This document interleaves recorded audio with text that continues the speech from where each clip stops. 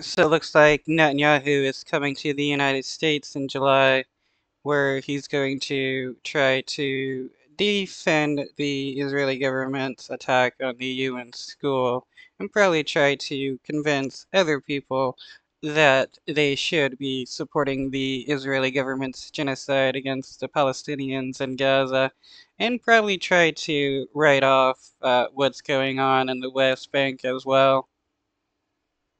Fallout from Israel's latest deadly strike in Gaza, Israel is now trying to justify its attack on a United Nations school which had sheltered displaced Palestinians. The Israeli military claims that the school was being used by the terrorists. Chris Livesay is following all of this in Tel Aviv. Chris, good morning to you. Good morning, Gail. Israel is wasting no time to defend its attack on that UN school in Gaza.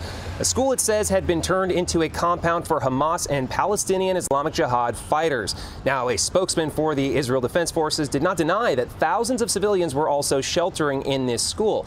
Indeed, he condemned the terror groups for hiding behind them as human shields. A CBS News.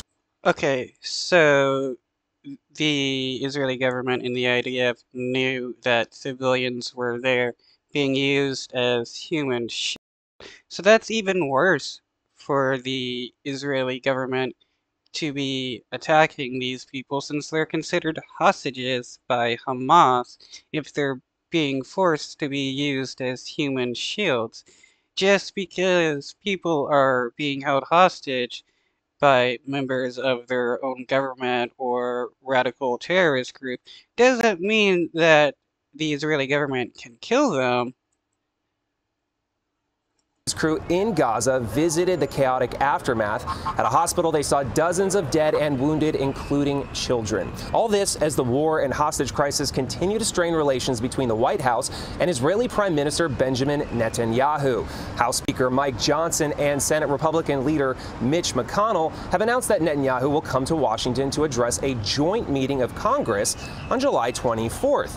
Senate Majority Leader Chuck Schumer, who has called for new elections in Israel,